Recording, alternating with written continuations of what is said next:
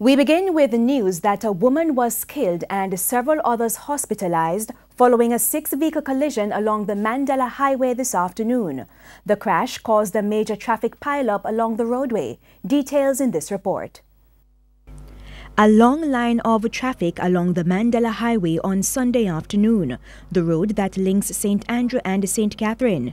It's not the normal peak hour traffic that motorists often complain about due to road works. It was caused by this wreckage, a six-vehicle collision on the eastbound section of the road heading into Kingston.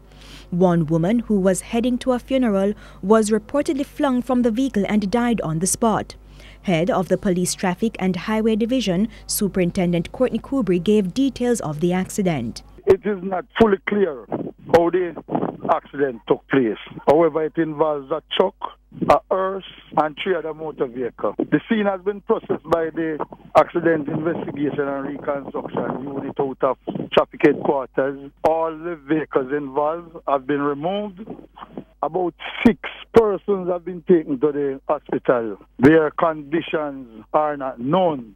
Checks are being made at those institutions to get some more accurate information. An alleged eyewitness also gave her account.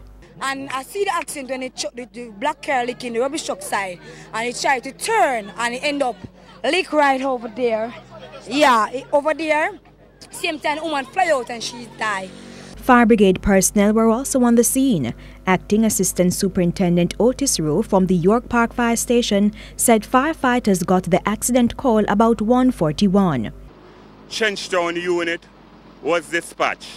On arrival on the given location, the brigade saw two persons lying on the ground. They were checked.